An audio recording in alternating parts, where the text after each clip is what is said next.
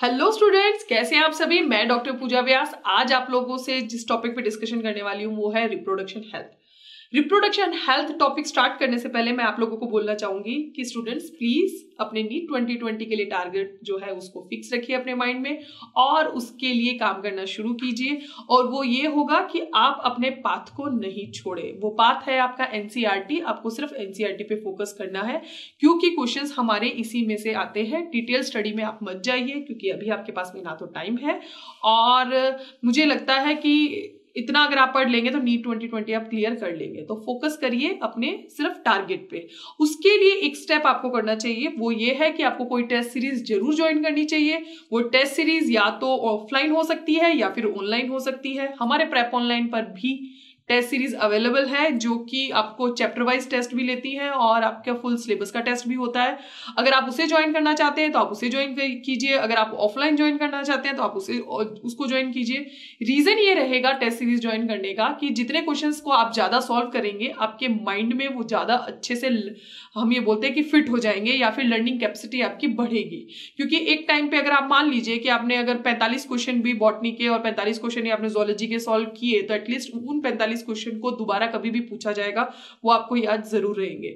Next time next forty botany से and forty zoology से आप करेंगे तो एंड देन आप नाइन्टी क्वेश्चन को और कर पाएँगे।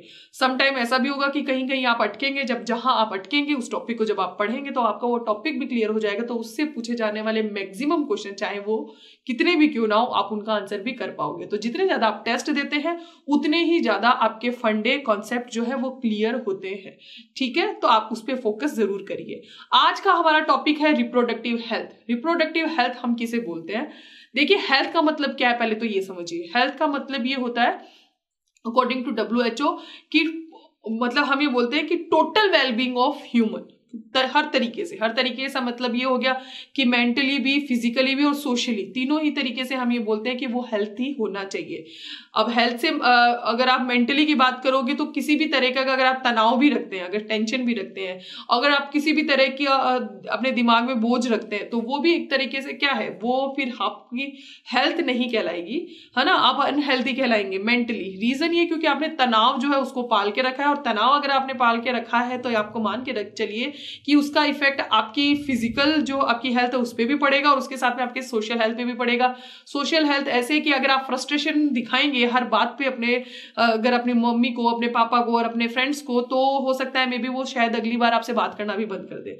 राइट तो आपका मेंटली हेल्थी होना बहुत ज़रूरी है, और नीट ट्वेंटी की प्रिपरेशन के टाइम पे भी ये हेल्थ मेंटेन रहनी बहुत ज़रूरी है। दूसरी आ जाती है फ़िज़िकल अगर हम बात करें तो फिजिकली तो हर तरीके से ही अगर आपको कोई डिज़ीज़ हो रही है तो वो भी नहीं होना चाहिए।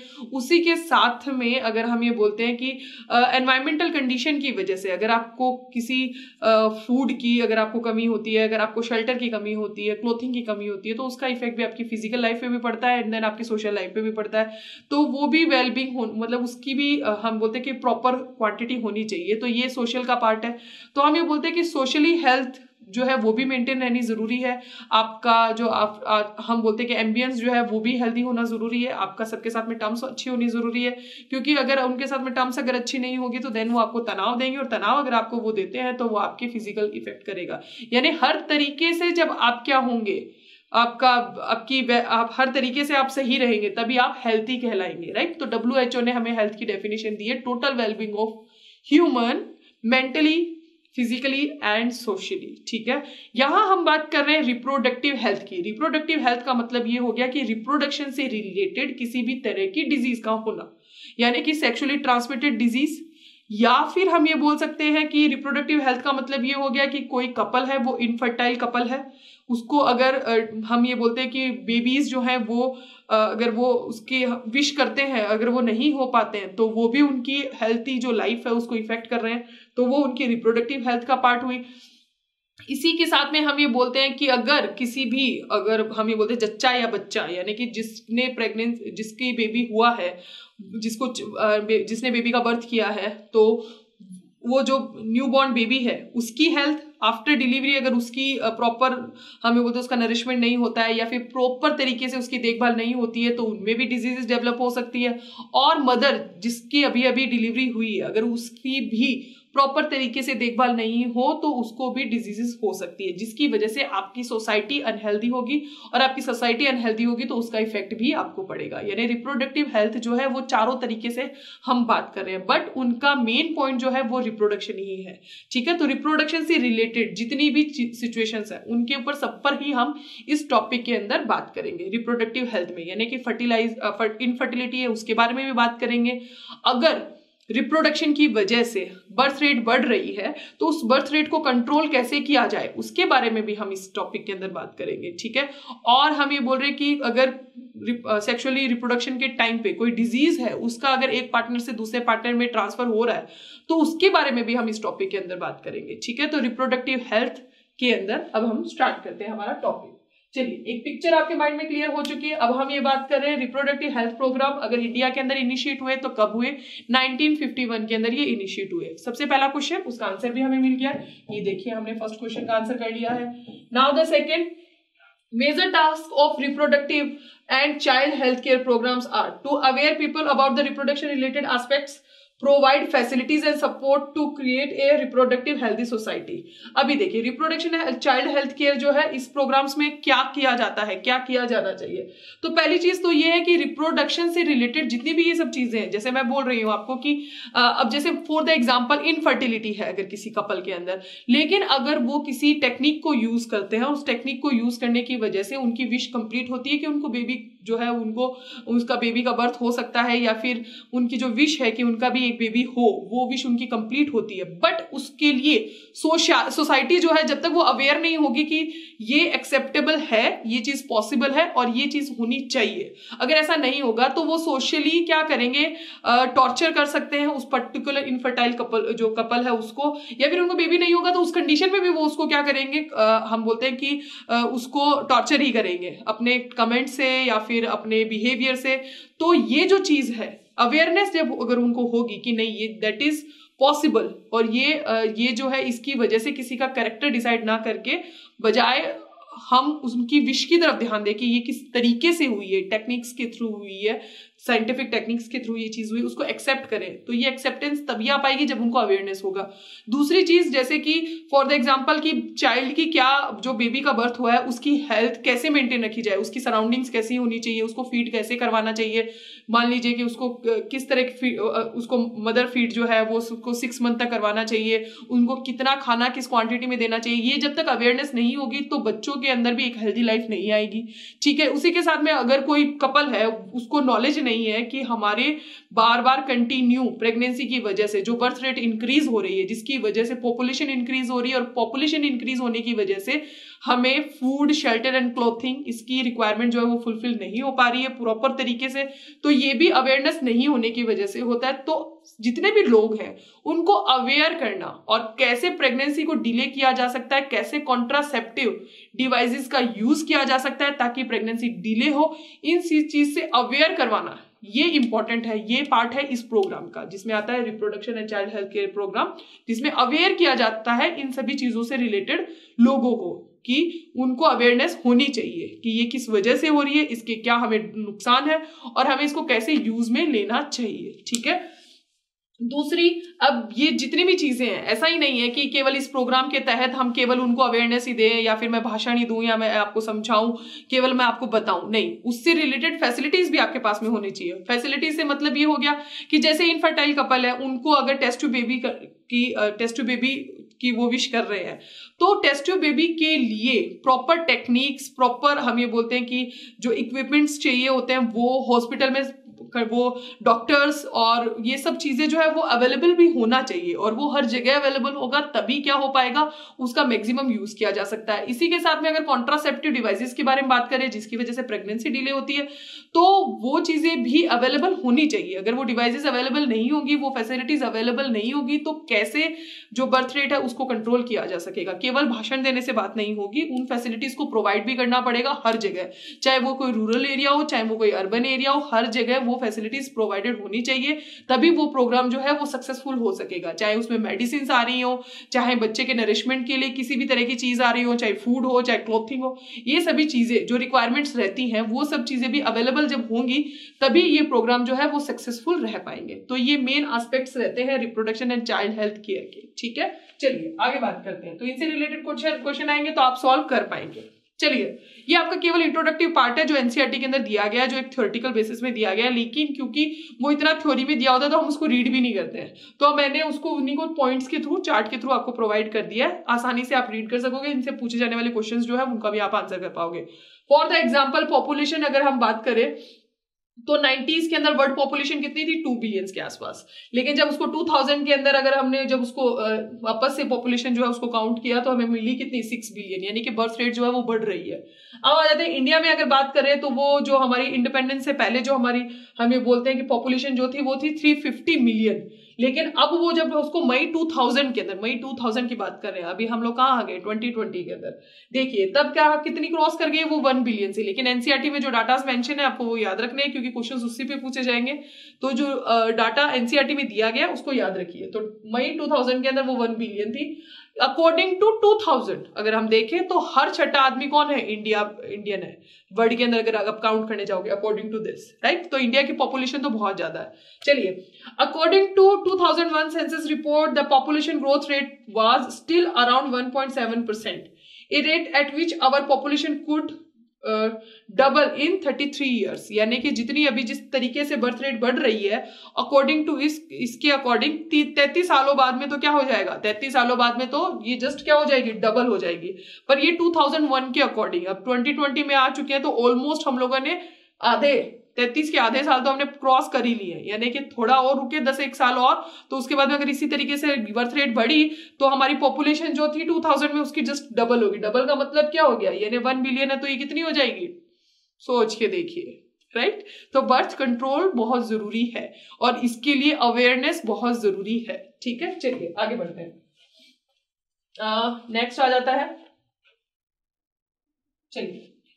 नेक्स्ट है reason for the population explosion ये क्या रीजन क्या है? देखिए रीजन तो ये है कि इंक्रीज हेल्थ फैसिलिटीज़ दूसरा है बेटर लिविंग कंडीशन अभी क्या हो गया एनवायरमेंट जो है, अभी हम चाहते थोड़ी ना कि डेथ रेट जो है वो बढ़े. ऐसा नहीं हम चाहते हैं, ठीक है? लेकिन that that is a condition हम इस पर बात करनी होगी कि क्योंकि अभी अभी क्या हो गया कि हमारी फैसिलिटीज़ बहुत ज़्यादा बढ़ गई है, ठीक है? और थोड़ा सा हमारी लिविंग जो हम ये बोले कंडीशन जो है, वो भी बेटर हो गई है। इसकी वजह से डेथ रेट जो है, वो कम हो रही है डिजीजेस कम होंगी। तो आप जितने ज़्यादा अवेयर रहेंगे अपनी हेल्थ को लेके तो उतनी ही आपकी क्या होगी? हम ये बोलते हैं कि एज लाइफ जो है एज जो है, वो आपकी बढ़ेगी। तो और जो हम ये बोल रहे हैं कि जो भी नए आने वाले न्यू बॉर्न बेबीज हैं, उनकी भी बेटर लाइफ स्टाइल की वजह से उनकी भी क्या होगी?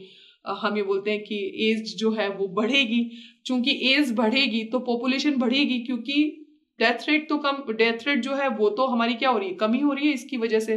तो डेथ रेट कम हो रही है बट बर्थ रेट बढ़ती जा रही है। तो पॉपुलेशन अपने आप से बढ़ेगी। तो पॉपुलेशन क्यों बढ़ रही है? उसका रीजन ये है, ठीक है?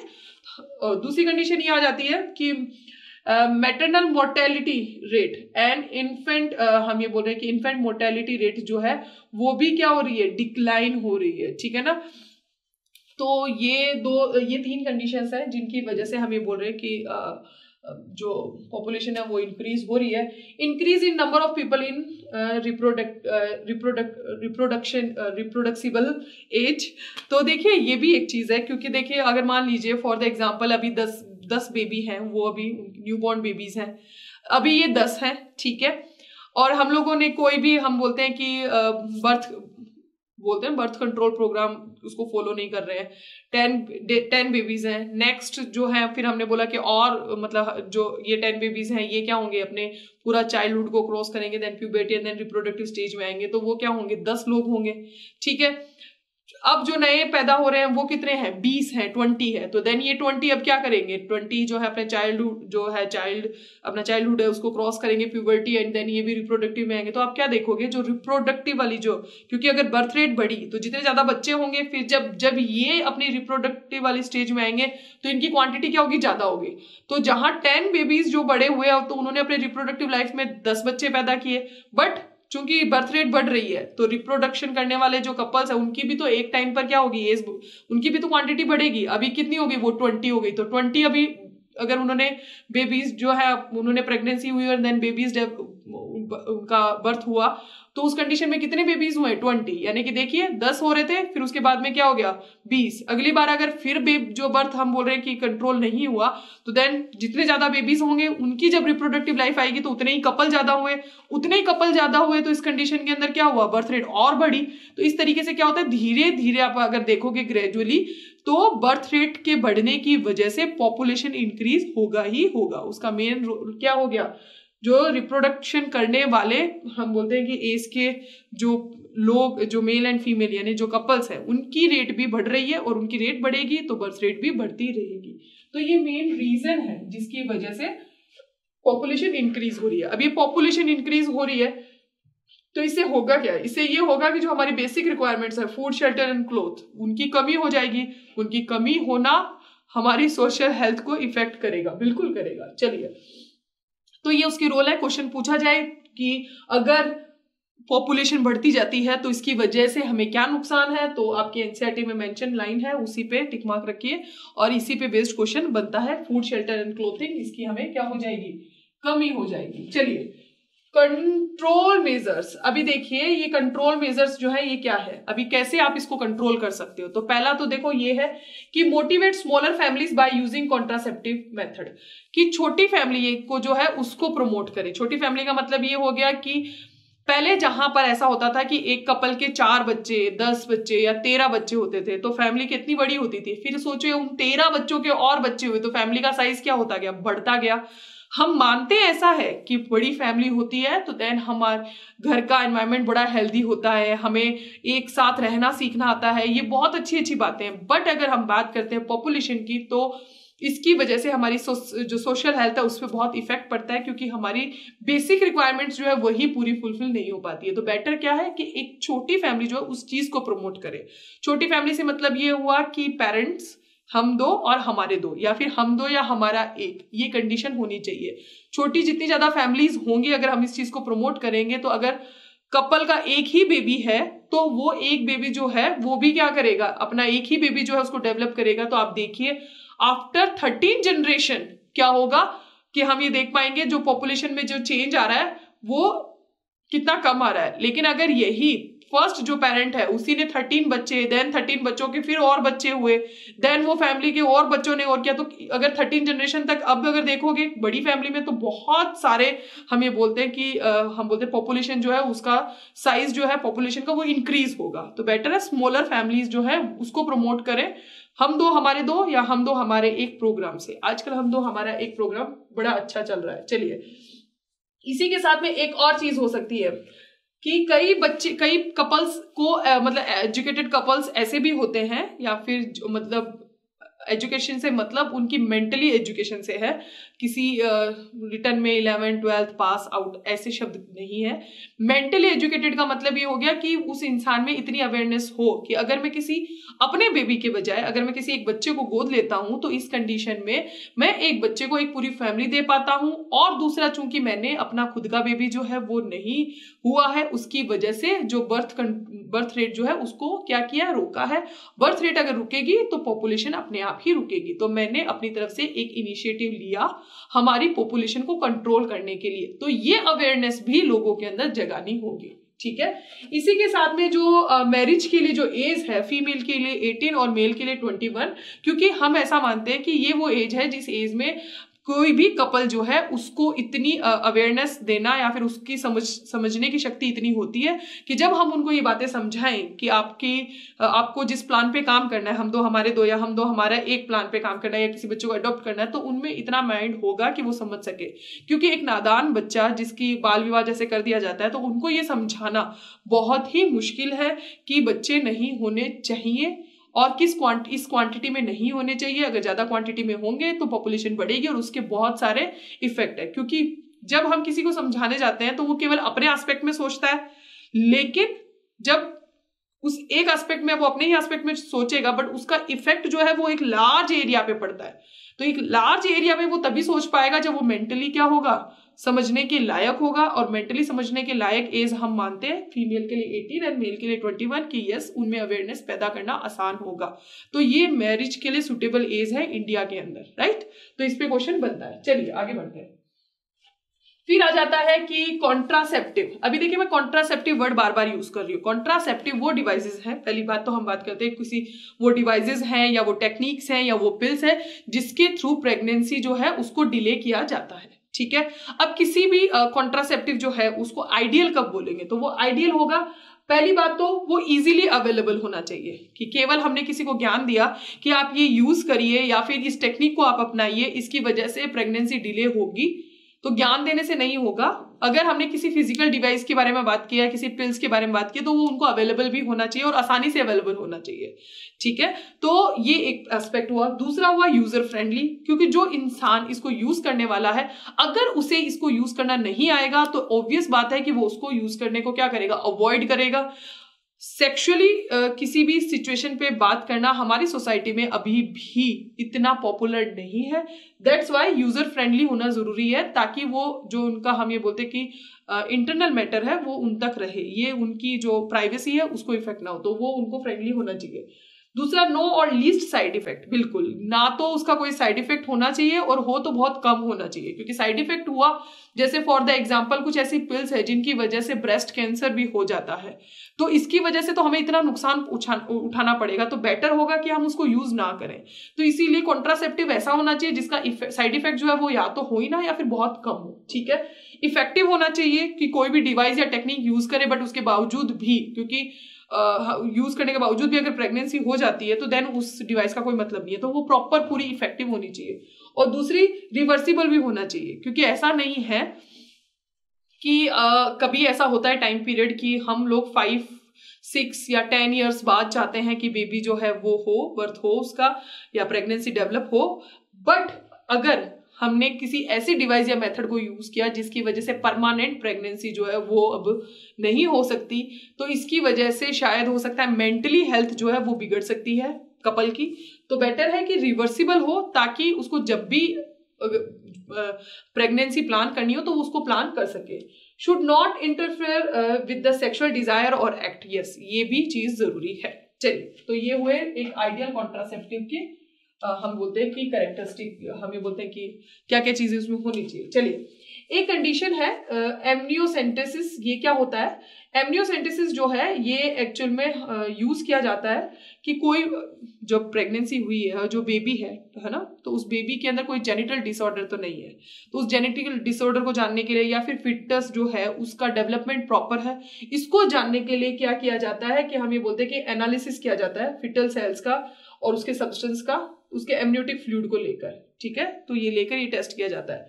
बट ये क्योंकि बैंड हो गया है, क्योंकि इसकी वजह से सेक्स क्योंकि जेनिटल डिसऑर्डर है, उसको चेक किया जा रहा है, यानी कि उसके जेंडर जो है, उसका पता हमें चल जाता है कि वो बेबी बॉय है या बेबी गर्ल है, जिसका आजकल यूज़ किया जाता है अलग अलग तरीके से। तो इस प्रोसेस का यूज़ जो है सेक्स डिटर्मिनेशन के लिए नहीं किया जा सकता। सेक्स डिटर्मिनेशन अगर होता है तो हमारे इंडिया के अंदर अभी भी ये कॉन्सेप्ट है कि बेबी बॉय होना अच्छी बात है बेबी गर्ल जो है, वो सही नहीं है। तो उसकी वजह से अबोर्शन जो है उसकी तरफ़ लोग जाते हैं, जिसकी वजह से मदर जो होती है उसको भी नुकसान होता है और उसके मेंटल हेल्थ जो है उसको भी नुकसान होता है। ठीक है? तो अबोर्शन बढ़ जाएँगे और ये एक हम ये बोलते हैं कि बहुत गलत चीज़ है कि एक भ्रूण की हत्या उसके गर्भ के समय कर देना। बहुत आसान शब्दों में अगर हम बोले तो ये गलत है। ठीक है? तो अवेयर होना चाहिए और बाकी ये बैंड है रीजन क्योंकि सेक्स सेक्स डिटर्मिनेशन के लिए बैंड है ये। सेक्स डिटर्मिनेशन इसके थ्रू नहीं किया जाना चाहिए। चलिए। नाउ एक और कॉन्ट्रासेप्टिव के बारे में बात करें, क्योंकि जब कॉन्ट्रासेप्टिव के बारे में बात आती है तो सहेली जो है, ये बहुत, हम बोलते हैं मोस्ट फ़ेमस ओरल कॉन्ट्रासेप्टिव जो बोलते हैं फीमेल्स के लिए पिल्स होती है फीमेल्स के लिए यूज़ की जाती है। तो क्वेश्चन पूछेंगे, सहेली कौन यूज़ करता है? तो देन फीमेल्स यूज़ करती है मेल नहीं। दूसरी, ये किस तरह की कॉन्ट्रासेप्टिव पिल है? तो ये ओरली ली जाती है। ये किसी तरह की, हमें बोलते हैं फ़िज़िकल डिवाइस नहीं है या फिर कोई टेक्निक नहीं है। ठीक है? नेचुरल मेथड नहीं है ये। होती कैसी है? ये नॉन स्टीरोडल जो है पिल्स होती है, इनको हम वन से वीक पिल्स भी बोलते हैं। रीजन ये क्योंकि ये पिल्स जो है हफ़्ते में एक बार ली जाती है और कुछ ऐसी पिल्स भी हैं जिनको ट्वेंटी वन डेज़ तक कंटिन्यू लेना होता है, यानी कि वो मेंस्ट्रुएशन को छोड़ के बाकी जितना टाइम है उसमें लेना होता है। तो उनसे बेटर है, एक हफ़्ते में एक बार लेनी होती है। ये जो है डेवलप किसने की थी? ये क्वेश्चन कई बार पूछा गया है। तो सी डी आर आई जो है लखनऊ, उसने इसको जो है उनके साइंटिस्ट ने इसको डेवलप किया था। बट याद रखिए कि इसके कुछ साइड इफ़ेक्ट होते हैं, ठीक है? तो हम ये बोल रहे हैं कि बिल्कुल, ये बहुत ज़्यादा हाईली कॉन्ट्रासेप्टिव वैल्यू है। इफ़ेक्टिव तो है बट इसके कुछ साइड इफेक्ट्स हैं। इस चीज़ पर क्वेश्चन कई बार बना है और कई बार पूछा गया है, ठीक है? तो हम लोग ध्यान नहीं देते ना छोटे छोटे वर्ड्स की तरफ़। वहीं से क्वेश्चन बन जाते हैं, क्योंकि थ्योरेटिकल है, बहुत कम चीज़ें हैं जो इसमें हमें बोलते हैं कि डायग्रामेटिकली समझने के लिए। तो इस वजह से इस तरह की चीज़ों में हमें उलझाने के लिए क्वेश्चन पूछे जाते हैं, ठीक है? तो ये हुआ सहेली कॉन्ट्रासेप्टिव की जब बात करते हैं तो इसके बारे में हम लोग पहले, सबसे पहले पढ़ते हैं, ठीक है? बट सहेली के बारे में बिल्कुल पिल्स के अंदर वापस से पढ़ेंगे। कॉन्ट्रासेप्टिव मेथड्स जो होते हैं, ये मेथड कई तरीके के हैं। एक, आपका आ गया नेचुरल या फिर ट्रेडिशनल मेथड दूसरा आ जाएगा फ़िज़िकल तीसरा हम लोग बात करेंगे जब हम उसके बारे में बात करेंगे पिल्स के बारे में। और एक सर्जिकल मेथड भी है, ठीक है? तो कई तरह के मेथड्स जो होते हैं कॉन्ट्रासेप्शन के कॉन्ट्रासेप्शन के लिए होते हैं। अब देखिए नेचुरल या ट्रेडिशनल मेथड हम किसको बोलते हैं? नेचुरल ट्रेडिशनल मेथड का मतलब ये हो गया कि जो ओवम होता है और जो स्पम होता है, उसकी मीटिंग जो होती है, उसको नहीं होने दिया जाता। क्योंकि मीटिंग अगर होगी तो फर्टिलाइजेशन होगा। तो बेटर है कि उनकी मीटिंग ही नहीं होने दी जाए। लेकिन उसके लिए किसी डिवाइस को नहीं, बल्कि टेक्निक को यूज़ किया जाता है। जैसे for the example periodic abstinence इसका मतलब क्या हुआ कि जब हम जो फीमेल होती है, उसके मेंस्ट्रुअल साइकिल के अंदर हम ये बोलते हैं कि ओवुलेशन जो है मिडल में होता है, यानी फोर्टीन डेज़ पे होता है। तो अगर आप उस टाइम पीरियड को कैलकुलेट करें तो उससे पहले, यानी टेंथ डे से लेकर सेवनटीन्थ जो डे है उस पीरियड के अंदर, जब ओवुलेशन का रहता है टाइम पीरियड उस टाइम के अंदर जो है, हम ये बोलते हैं कि जो कोइटस है, उसको क्या किया जाए, नहीं किया जाए, जिसकी वजह से क्या होगा स्पम जो है, वो ओवम तक नहीं पहुंचेगा और फर्टिलाइजेशन नहीं होगा। तो एक कंडीशन तो ये है। दूसरी है इंटरप्ट कोइटस इंटरप्ट का मतलब ये हो गया कि जो इनसेमिनेशन से पहले ही पेनिस को बाहर निकाल देना, जिसकी वजह से क्या होगा स्पम्स जो है, वो एग तक नहीं पहुँचेंगे। फिर एक आता है लैक्टेशन एमरेरोइया ये जो है एक्चुअल में अगर कोई मदर है उसको बेबी हुआ है तो आफ्टर डिलीवरी सिक्स मंथ तक जब तक मदर जो है बेबी जब फ़ीड करता है मदर फ़ीड लेता है तब तक उसके अंदर ओवुलेशन और जो साइकिल है वो नहीं होता। क्योंकि उसमें ओवुलेशन है वो साइकिल नहीं होता तो एग ही नहीं है। तो उस टाइम पीरियड के अंदर अगर आ, हम ये बोलते हैं कि कोइटस होता भी है तब भी प्रेगनेंसी नहीं हो पाती है। तो ये उस पीरियड को हम बोलते हैं सिक्स मंथ का पीरियड जब बेबी फ़ीड करता है तो उसको हम बोलते हैं lactation lactational amenorrhoea that is a condition natural हम बोलते हैं कि मेथड है ये। तो ये नेचुरल मेथड में तीन आते हैं। तीनों के नेमिंग से कई बार क्वेश्चन पूछ लिए जाते हैं कि क्या है है ना? और कौन, किस तरह का ये मेथड है, ठीक है? तो ये वर्ड जो है, इनको वर्ड टू वर्ड आप याद रख लीजिए। इसका कोई साइड इफ़ेक्ट नहीं है, बिल्कुल इनके कोई भी साइड इफ़ेक्ट नहीं है। चलिए नाउ आ जाते फ़िज़िकल बैरियर पर। फ़िज़िकल बैरियर जो है, देखिए कौन से कंडम है डायफ्राम है सर्वाइकल कैप्स एंड वॉल्स जिसमें से कंडम जो है, वो मेल एंड फीमेल दोनों यूज़ करते हैं। Diaphragm and cervical caps and vaults जो है, ये फीमेल यूज़ करती है ओनली फीमेल्स देखिए, ये फ़िज़िकल बैरियर्स है जिसके थ्रू जिनको हम ये बोलते हैं कि जिनको या तो पेनिस पर कवर किया जाता है या फिर सर्विक्स जो है उसमें प्लांट किया जाता है, जिसकी वजह से स्पम जो है वो एग तक नहीं पहुँच पाता और फर्टिलाइजेशन नहीं होता। तो ये चारों के चारों जो है, ये क्या है? हम ये बोल रहे हैं कि फ़िज़िकल जो बोलते हैं ना बैरियर्स है। जिसमें डायफ्राम के बारे में पूछ लिया जाए तो ये इंटरकोर्स के छह घंटे पहले जो है डायफ्राम को लगाया जाता है, ठीक है? इसके अलावा हम ये बोलते हैं कि जो कंडोम है या फिर वोल्ट्स हैं, सर्वाइकल कैप्स हैं, ये सभी वही फ़िज़िकल हम बोलते हैं कि बैरियर है, जो रिप्रोडक्टिव ट्रैक्ट जो होता है, उसी को रोक देता है।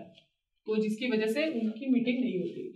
अब जो कंडम है, उसको ज़्यादा यूज़ क्यों किया जाता है? उसका एक तो री, हम ये बोलते हैं कि इजी जो है, वो डिस्पोजेबल भी होता है इजी यूज़ यूज़ करने में भी वही इजी है और इसके अलावा ये सेक्सुअली ट्रांसमिटेड डिज़ीज़ एड्स वगैरह जो है, उसके लिए हम ये बोलते हैं कि प्रोटेक्शन देता है। क्योंकि अगर जेनिटल एरिया पार्ट्स के अंदर अगर कोई भी डायरेक्टली अगर बोलते हैं कि अगर कांटेक्ट में अगर आते हैं तो इस कंडीशन की वजह से डिजीजेस जो है वो भी डेवलप हो सकती है और वायरस जो है, उसका इन्फेक्शन भी हो सकता है, ठीक है?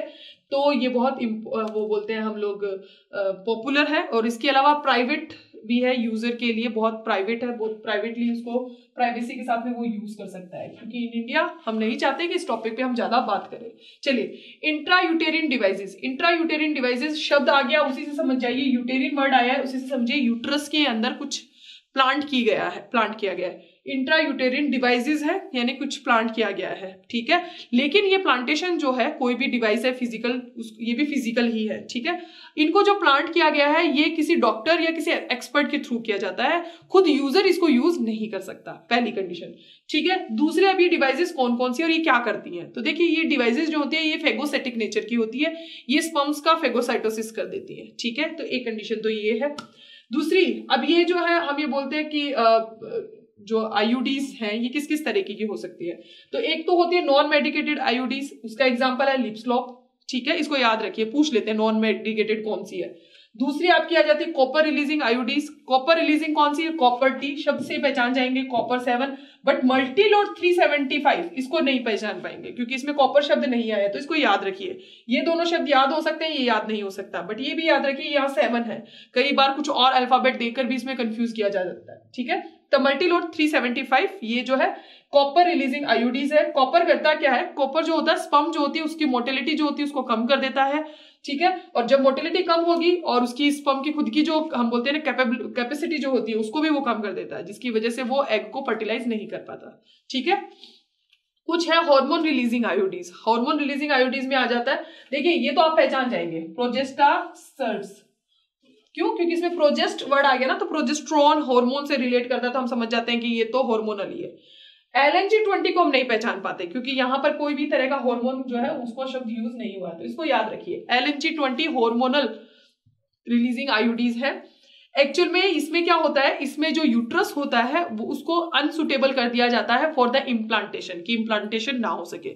इसी के अलावा सर्विक्स एरिया जो है, वहाँ से हम ये बोलते हैं कि जो स्पम है, उसकी एंट्री को ही ब्लॉक कर दिया जाता है। तो क्वेश्चन पूछ लेते हैं कि ऐसी कौन सी आयोडीज हैं या फिर कौन सी डिवाइसेज हैं जिसके अंदर सर्विक्स जो है उस, उसके थ्रू जो है स्पम जो है, उसको पहुँचने नहीं दिया जाता है? तो फ़िज़िकल तो है ही। इसके अलावा जो उसको अनसुटेबल एनवायरमेंट बना के उस इम्प्लांटेशन को रोक दिया जाता है। स्पम को फर्टिलाइज नहीं करने देते। कौन सी? हॉर्मोनल रिलीजिंग आयोडीज ठीक है? तो ये तो हॉर्मोनल इफ़ेक्ट डाल रही है तो आप समझ ही जाइए कि इसका इफ़ेक्ट सीधा यूट्रस पे ही होगा। है ना? क्योंकि हॉर्मोन्स जो है यूट्रस की वॉल क्रिएट करने में और बहुत सारी चीज़ें जो है, वो करते हैं। चलिए तो आपने, हमने पढ़ा है रिप्रोडक्शन के टाइम पे। कुछ है अदर कॉन्ट्रासेप्टिव मेथड के अंदर हमारे आ जाते हैं। ऑरल कॉन्ट्रासेप्टिव ऑरल कॉन्ट्रासेप्टिव का मत में आ जाती है पिल्स आ जाती है। ये पिल्स जो है एक्चुअल में क्या होती है, ये हॉर्मोन्स ही हैं।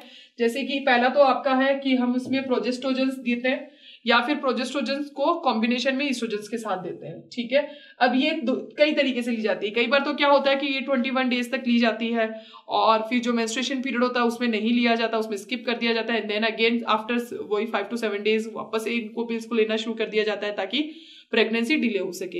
एक क्या होता है, कुछ ऐसी होती है जिनको हम बोलते हैं कि क्वाइटिस के बहत्तर घंटे के अंदर लेनी होती है, जिसकी वजह से अगर कंडीशन के फर्टिलाइजेशन हो गया तो वो बेबी जो हम जो कहते हैं ना फर्टिलाइज एग जो है, वो यूट्रस के अंदर जो है फिर इम्प्लांट नहीं हो पाता है। ठीक है? तो वो हम बहत्तर घंटे के अंदर हम बोलते लेना। सहेली जो है वो हफ़्ते में एक बार ली जाती है।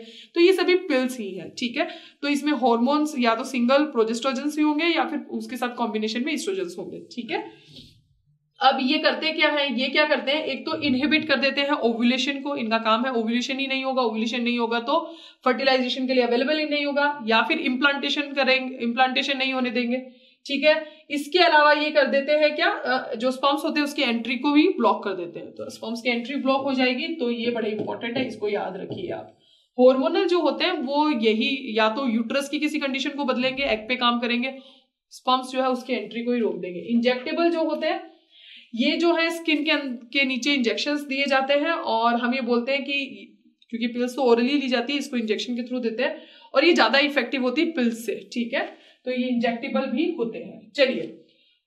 सर्जिकल मेथड्स इसके थ्रू क्या कर दिया जाता है? किसी भी मेल या फीमेल जो उसको बंधे बना दिया जाता है। स्टेराइल कंडीशन डेवलप कर दी जाती है। कैसे कर पाएँगे ये कंडीशन ये क्या कर दी जाती है, उनकी जो ट्यूब्स होती है, उनको कट करके और उनको बाँध दिया जाता है। ये जो जिस ट्यूब को कट करेंगे, उसी के अकॉर्डिंग उनका नाम है। जैसे कि मेल है तो मेल के अंदर वसा डिफरेंसेस जो है, उसको कट करके बाँध देते हैं, ठीक है? तो इसको हम बोलते हैं वसेक्टोमी।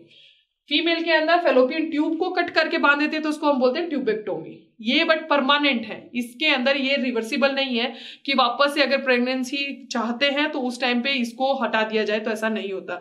ये परमानेंट है, जिसमें परमानेंटली क्या कर दिया जाता है? स्टेराइल कर दिया जाता है मेल एंड फीमेल को। जिसकी वजह से या तो वसेक्टोमी की वजह से स्पम जो है वो नहीं पहुँच पाएँगे एग के पास में और ट्यूबेक्टोमी की वजह से एग जो है वो अवेलेबल नहीं होंगे स्पम को for the fertilization reason tube को कट कर दिया गया है तो उनका जो पाथवे है उसी को ब्लॉक कर दिया गया है। तो ये परमानेंट हम बोलते हैं कॉन्ट्रासेप्टिव डिवाइस है। चलिए मेथड है सॉरी फिर आता है मेडिकल टर्मिनेशन ऑफ़ प्रेगनेंसी ये भी एक मेथड है कि कभी अनवांटेड अगर प्रेगनेंसी हो गई हो तो उसका अबोर्शन करवा दिया जाए। ठीक है? बट ये सिंपल बात लगती है जब हम बोल रहे हैं, है ना? कि अनवांटेड है प्रेगनेंसी तो उसको लेकिन अब क्या हो गया है कि इन इंडिया अगर आप देखेंगे तो बेबी गर्ल जो है शायद मेरे ख्याल से लोगों को पसंद नहीं है कि वो हो। तो इसकी वजह से जब उनको पता चलता है कि आ, कि हमारे सेक्स डिटर्मिनेशन कई बार इलीगली करवा लिया जाता है जिसकी वजह से उसका क्या कर दिया जाता है? अबोशन किया जाता है। इसकी वजह से एक नन्ही सी जान जो है उसकी हम कहते हैं ना कि यूट्रस के अंदर ही हमें बोलते हैं कि फिटल स्टेज में उसकी डेथ हो जाती है। तो आप सोच के देखिए अगर आपको भी फिटल स्टेज के अंदर ही आपकी डेथ हो जाती तो क्या आप आज जो कर रहे हैं, वो कर पाते? नहीं, ये एक इलीगल यूज़ हो गया है आजकल एमटी हम बोलते हैं एमटीपी का, इस वजह से हम ये बोलते हैं लीगलाइज हो गया है इंडिया के अंदर। कब हुआ लीगलाइज तो ये 1971 में लीगलाइज हो गया। देर इज़ ए सिचुएशन पहली बात तो अबोर्शन जो है पॉसिबल नहीं है एक सर्टन एज के बाद में। उसके बावजूद भी कभी कभी क्या होता है कि uh, कोई डिज़ीज़ के बारे में डायग्नोज हो जाता है कि ये डिज़ीज़ इसको होगी या फिर ये मेंटली पूरा तरीके से डेवलप नहीं है। इस कंडीशन में कई बार पेरेंट्स ये डिसीज़न लेते हैं कि उसका अबोर्शन हो जाए बट उसके लिए भी उनको लीगल फाइट जो है लड़नी पड़ती है। और समटाइम ऐसा होता है कि उनको तब भी हमें बोलते हैं कि उनको नहीं मिलती एक्सेप्टेंस कि हाँ भाई वो अबोर्शन करवा ले, क्योंकि मुझे लगता है, मुझे और हमारे इंडिया में लीगली सबको ये लगता है कि अबोर्शन जो है दैट इज़ नॉट गुड है ना? ये अच्छा नहीं है, क्योंकि हम किसी की हत्या कैसे कर सकते हैं राइट right? हमें ये एक, हम बोलते हैं कि इंडिया के अंदर एक एक इशू है, जो हमारी सोसाइटी सोशल हेल्थ के लिए बहुत ज़रूरी है। तो ये सेशन सोशल हेल्थ की तरफ़ हम ये बोल देते हैं कि लिया गया स्टेप है। राइट तो ये इलीगलाइज है 1971 में इंडिया के अंदर MTP medical termination of pregnancy but इसको सम कंडीशन में जो है यूज़ किया जाता है। इंपॉर्टेंस क्या है? To avoid unwanted pregnancy due to casual intercourse of और failure of contraceptive use during coitus और रेप बिल्कुल। रेप के टाइम पे अगर कोई प्रेगनेंसी डेवलप हो गई तो इस टाइम पे उसका अबोर्शन होना बहुत ज़रूरी है। ये ज़रूरी ज़रूर है। एमटीपी का अगर ये यूज़ होता है तो वो बहुत ज़रूरी है, क्योंकि वो एक फीमेल के मेंटल हेल्थ को बिगाड़ती है। इस कंडीशन के अंदर उनको एमटीपी जो है, यानी कि मेडिकल टर्मिनेशन ऑफ़ प्रेगनेंसी जो है, ये अलाउड होता है एंड देन वो अबोर्शन करवाया जा सकता है, और ये बहुत ही इंपॉर्टेंट है, ऐसा होना भी चाहिए। और कुछ हार्मफुल फॉर समटाइम कभी कभी ऐसी कंडीशन होती है कि फीटस के लिए या फिर मदर के लिए वो हार्मफुल होती है प्रेगनेंसी उस कंडीशन के अंदर भी इसको हम एमटीपी जो है इसको यूज़ किया जाता है। इस कंडीशन में भी ये सही है। ठीक है? तो एमटीपी तभी सही है बट कुछ केसेस में ये गलत भी है। तो कौन से केसेस में सही है? रेप के केसेस में या अनवांटेड प्रेगनेंसी के केस में? और हम ये बोलते हैं कि अगर मदर को या फिर फिटनेस को अगर नुकसान हो रहा हो प्रेगनेंसी की वजह से तो इस केस में एम जो है वो इंपॉर्टेंट है। तो किस केस में इंपॉर्टेंट है वो याद रखना? क्वेश्चन इसी पर इसी तरीके से पूछा जाता है। चलिए, अभी आगे बढ़ते हैं। फिर आ जाते हैं सेक्सुअली ट्रांसमिटेड डिज़ीज़ के बारे में। सेक्सुअली ट्रांसमिटेड डिज़ीज़ जो है कई तरह की होती है क्वेश्चन पूछते हैं, कौन सी डिज़ीज़ सेक्सुअली ट्रांसमिटेड है? इसके बारे में आगे आप जो है डिस्कशन करेंगे। बट यहाँ पे एक छोटा सा हम बोलते हैं ना कि पॉइंट में आपको बताया गया तो आपको पता होना चाहिए। तो सेक्सुअली ट्रांसमिटेड डिज़ीज़ कौन कौन सी है? इसके अंदर आ जाती है गोनेरिया साइफिलिस ठीक है? कौन से बैक्टीरिया की वजह से हो रहा है? फेलिडम बैक्टीरिया की वजह से जेनिटल हर्पेस क्लेमाइडियसिस इसके अलावा जेनिटल वॉर्ड्स ठीक है? Trichomoniasis hepatitis B and HIV जिसकी वजह से होता है एड्स तो ये सभी डिज़ीज़ जो है, ये सेक्सुअली ट्रांसमिटेड डिज़ीज़ है। और ये डिज़ीज़ जो है, ये कब होती है? ठीक है? तो ये होती है, हम ये बोलते हैं कि अगर एक मेल पार्टनर कई फीमेल पार्टनर के साथ सेक्सुअली रिलेशन में हो या फिर एक फीमेल कई सारे मेल जो है, उसके साथ सेक्सुअली रिलेशन में हो, जिनमें से किसी को भी ये डिज़ीज़ होने की वजह से और उससे विदाउट किसी कॉन्ट्रासेप्टिव डिवाइस के यूज़ की वजह से डायरेक्ट हम बोलते हैं कि इंटरकोर्स की वजह से ये डिज़ीज़ जो है वो ट्रांसमिट होती है, ठीक है? तो इसको अगर रोकना है यानी कि सेक्सुअली ट्रांसमिटेड डिज़ीज़ को अगर रोकना है तो कॉन्ट्रासेप्टिव डिवाइसेस को यूज़ करना चाहिए। यानी फ़िज़िकल जो डिवाइसेस है, उनको यूज़ करना चाहिए। उसकी वजह से ये डायरेक्ट जो हम बोलते हैं कि कॉन्टेक्ट है, वो रुक जाता है जेनिटल एरियाज़ का। चलिए sharing of injection needles and surgical instrument with a infected person ये अनदर मेथड है हिपेटाइटिस बी एंड एचआईवी के, क्योंकि केवल सेक्सुअली ट्रांसमिट नहीं होता है। इसके अलावा अगर इंजेक्शन भी लगा दिया जाए तो भी फ्लूड क्योंकि कॉन्टेक्ट में आ जाता है तो इस वजह से भी डिज़ीज़ हो जाती है। ब्लड ट्रांसफ्यूजन की वजह से बिल्कुल एक अगर इन्फेक्टेड पर्सन का ब्लड ट्रांसफ़र कर दिया जाए तो इस कंडीशन में भी डिज़ीज़ हो जाती है। और मदर अगर इन्फेक्टेड है, बिल्कुल एचआईवी अगर मदर को एचआईवी है तो उसके फिटनेस में भी एचआईवी जो है वो ट्रांसमिट होगा। ठीक है ना? हो सकता है, ये कंडीशन भी होगी। चलिए तो ये अनदर मेथड है। इनके सिम्टम्स क्या है? अगर आपको सेक्सुअली ट्रांसमिटेड डिज़ीज़ जो है उनको पहचानना हो तो सबसे पहले तो जेनिटल एरिया में ईचिंग होने लग जाती है। थोड़ा सा जेनिटल रीजन में पेन भी रहता है। और जेनिटल रीजन जो होता है उनमें स्वेलिंग आ जाती है और फ्लू डिस्चार्ज जो होता है वो बढ़ जाता है। तो ये अर्ली सिम्टम्स है। बाद में सिम्टम्स तो ये होंगे कि इसकी वजह से क्या होगा? प्रेगनेंसी जो है वो डेवलप नहीं हो पाएगी इनफर्टिलिटी जो है वो डेवलप हो जाएगी। समटाइम अगर कोई प्रेगनेंसी डेवलप हो गई तो उसका मिड स्टेज में अबोर्शन हो जाता है। और हम ये बोलते हैं कि पेल्विक इन्फ्लेमेटरी डिजीजेस जो है वो हो जाती है। और समटाइम रिप्रोडक्टिव ट्रैक्ट जो होते हैं उनमें कैंसर भी हो जाता है। तो ये लेटर हम बोलते हैं कॉम्प्लिकेशन है जो डेवलप हो जाते हैं। अगर इन डिजीजेस को अगर इनको अगर रोकना है तो या तो क्या हो सकता है कि अर्ली स्टेज के अंदर जब ये डायग्नोज हो जाए तब इस डॉक्टर के पास पहुँच जाना इस तर, इस कंडीशन के अंदर आप इससे बच सकते हो।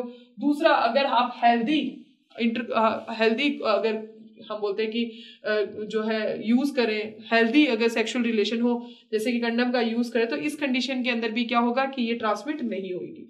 दूसरी कंडीशन ये कि अवॉइड करें अननोन जो जानते नहीं है, उन पार्टनर के साथ में सेक्सुअली रिलेशन और या फिर मल्टीपल जो है पार्टनर्स के साथ में सेक्सुअली रिलेशनशिप में रहना, इस चीज़ को अवॉइड करिए, नहीं तो ये डिज़ीज़ हो सकती है। ठीक है? अर्ली स्टेज में जैसे डिटेक्ट हो डॉक्टर के पास पहुँचे, तब भी इसका ट्रीटमेंट हो सकता है। फिर आ जाता है इनफर्टिलिटी इनफर्टिलिटी नेचुरली हम बोलते हैं कपल्स के अंदर या तो मेल के अंदर या फीमेल के अंदर हम बोलते हैं कि नेचुरली ऐसा ही कंडीशन होती है कि या तो वो कैपेबल नहीं होते हैं कि उनमें गैमेट्स तो बनते हैं बट गैमेट्स का फर्टिलाइजेशन नहीं होता। समटाइम जो फर्टिलाइज हम ये बोलते हैं कि जो एग है, उसका इम्प्लांटेशन नहीं हो पाता क्योंकि यूट्रस जो है वो प्रॉपर नहीं होती फॉर द इम्प्लांटेशन और कई बार ऐसा होता है कि स्पम्स बनते हैं बट स्पम काउंट अच्छा नहीं होता, इस वजह से फर्टिलाइजेशन नहीं हो पाता। समटाइम एग का फॉर्मेशन ही नहीं होता। तो ये बहुत सारे ऐसे रीजन है जिसकी वजह से इनफर्टिलिटी डेवलप हो जाती है, ठीक है? तो इनफर्टिलिटी जो है उसको ट्रीट करने के लिए भी कई तरीके की हम ये बोलते हैं कि हम बोलते हैं मेथड्स हैं। तो सबसे पहले इसमें बात करेंगे इन विट्रो फर्टिलाइजेशन जिसको हम बोलते हैं आईवीएफ या फिर टेस्ट ट्यूब बेबीज भी जो बोला जाता है। तो टेस्ट ट्यूब के अंदर बेबी डेवलप नहीं होता है। एक्चुअल में ये, हम बोलते हैं जो ये फर्टिलाइजेशन प्रोसेस होता है एग एंड हम बोलते हैं स्पम की जो मीटिंग है और जो फर्टिलाइजेशन है, वो टेस्ट ट्यूब के अंदर करवाया जाए। जब फर्टिलाइजेशन होगा और जाइगॉट बनेगा, वो जाइगॉट फिर क्या करेगा? माइटोसिस करेगा। एंड हम बोलते हैं कि टू से फोर फोर से एट एट से सिक्सटीन जो है ब्लास्टोमियर जो है उसका फॉर्मेशन होगा। यानी कि जब वो एट या सिक्सटीन हम बोलते हैं कि ब्लास्टोमियर वाला जो एम्ब्रियो होगा, उस कंडीशन के अंदर उसका ट्रांसफ़र कर दिया जाए सुटेबल यूट्रस के अंदर या फिर फेलोपियन ट्यूब के अंदर, जिसकी वजह से प्रेगनेंसी डेवलप हो सके। तो वो फर्टिलाइजेशन प्रोसेस चूँकि हम बाहर करवाते हैं, तब हम उसको क्या बोल देते हैं टेस्ट बेबी बोल देते हैं, या फिर इन विट्रो फर्टिलाइजेशन बोल देते हैं आईवीएफ बोला जाता है। ठीक है? तो देखिए, मान लीजिए अभी कैसे कंडीशन हो रही है कि एक फीमेल है, जिसको हम बोल रहे हैं डोनर क्योंकि इसका ओवा जो है, उसको लिया जा रहा है। एक मेल है जिसको हस्बैंड भी और ये हस्बैंड है, ये वाइफ है तो ये है डोनर जो स्पम देगा।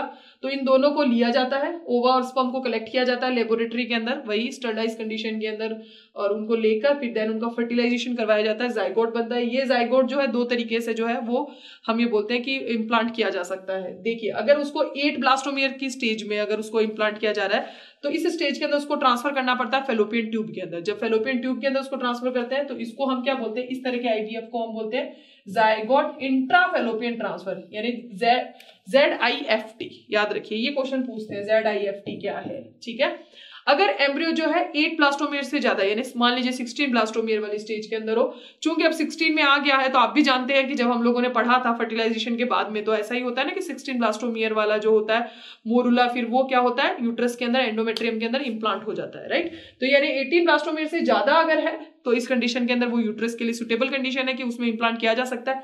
देन हम उसको ट्रांसफ़र करते हैं कहाँ पे? यूट्रस के अंदर। तो इसको हम बोलते हैं intra uterine transfer I U T बोल रहे हैं, ठीक है? वो क्या था? इंट्रा यूटेरिन डिवाइसेस आईयूडीज था, ये आईयूटी है ट्रांसफ़र किया जा रहा है, ठीक है? और दोनों ही टाइप है किसके? आईवीएफ के, यानी फर्टिलाइजेशन बाहर हुआ एंड देन फर्टिलाइज एग को, यानी जाइगोट को eight stage eight cell stage में या फिर सिक्सटीन सेल स्टेज के अंदर ट्रांसफ़र किया गया फेलोपियन ट्यूब में या फिर यूट्रस में। फेलोपियन ट्यूब में तो टी और अगर उसको ट्रांसफ़र किया गया यूट्रस के अंदर देन आई ठीक है? तो ये हो गया फ़र्स्ट चलिए, अभी आगे बढ़ते हैं। चलिए gamete intrafallopian transfer gamete intrafallopian transfer किसको बोलते हैं this method is useful for the females अभी फीमेल्स क्या होती हैं? अगर उनके अंदर हम अगर देखते हैं कि वो ओवा जो है उसको प्रोड्यूस नहीं कर पा रही है, ठीक है? बट उनका यूट्रस जो है वो सुटेबल रहता है, जिसके अंदर फर्टिलाइज एग जो है या जाइगोट जो है वो वहाँ पे इम्प्लांट हो सकता है। तो ऐसी कंडीशन के अंदर हम क्या करते हैं? जाइगोट जो कि ओवा है, उसको किसी और फीमेल से लेकर उसके अंदर, उसकी फेलोपियन ट्यूब के अंदर ट्रांसफ़र कर दिया जाता है। तो इस मेथड को हम क्या बोलते हैं? जी इसको हम बोलते हैं गैमेट इंट्राफेलोपियन ट्रांसफ़र ठीक है? ओवा को ट्रांसफ़र किया एक फीमेल डोनर किसी और का हमने ओवा लिया और हमने जो मतलब वाइफ है जिसके अंदर उसका खुद का गैमेट नहीं बन पा रहा है, उसकी फेलोपियन ट्यूब में उसको ट्रांसफ़र कर दिया। देन वो अपने ही हस्बैंड के स्पम के साथ में फर्टिलाइज होकर एंड उनके यूट्रस के अंदर नेचुरल जो प्रेगनेंसी है उसको डेवलप करके और बेबी का बर्थ पॉसिबल है। तो उस मेथड को हमने क्या बोला है? जी आई एफ़ टी चलिए क्लियर आगे बढ़ते हैं। फिर आ जाता है इंट्रासाइटोप्लाज्मिक स्पर्म इंजेक्शन कभी कभी क्या होता है लेबोरेटरी के अंदर ही जो सिंगल एक ही सिंगल स्पर्म जो होता है उसको डायरेक्टली इंजेक्ट कर दिया जाता है एग के अंदर।